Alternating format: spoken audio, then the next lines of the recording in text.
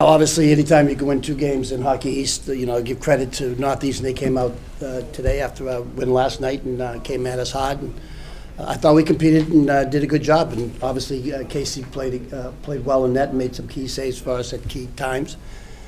Um, but it was uh, it was a good hockey game. I mean, the score was not indicative of uh, the game. It was a well fought game by uh, both teams, and we're excited that uh, with the win. You know, I think the team is really playing good defensive hockey, especially last night, uh, holding them to 21 shots.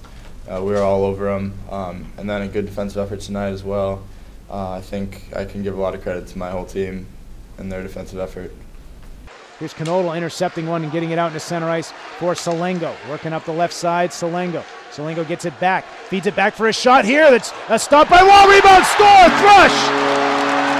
I mean, it's, it's definitely helped. Uh, our, our points have been doing a much better job these last five games here, uh, getting shots to the net. I think we've had a lot better traffic too. Uh, obviously, coaches has, have made that an emphasis for us in practice, and uh, I think uh, we're all seeing the success of that uh, right now as everyone's going to the net. And we're, you know, a lot of rebound goals. I just think about you know Nick Sorkin's goal tonight, Nick Sorkin's goal last night.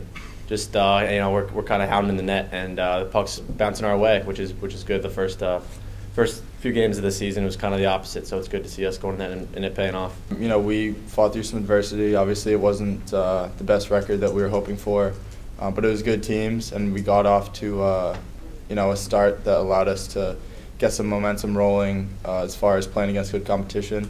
Uh, you know, we saw some of the best teams out there and we competed. So I think that set us up well to compete, uh, you know, for the rest of the season. I mean, we never we never wanted to learn uh, by taking losses like we did, but uh, at the end of the day, we played we played some good teams, as you can see with their record so far. So. Uh, I think we put those games behind us. We realized that uh, you know some of those are the top teams in the country. I mean, we, we were right there with them the entire time. So at the end of the day, you know, it was unfortunate we took the losses we did, but we got a lot of confidence I think from that game moving forward, and now uh, things are going our things are going our way a little bit. I think it's just building and building, and uh, you know we got a pretty happy locker room right now.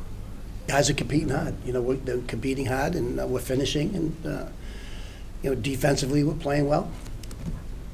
Now we go into a huge weekend with Providence.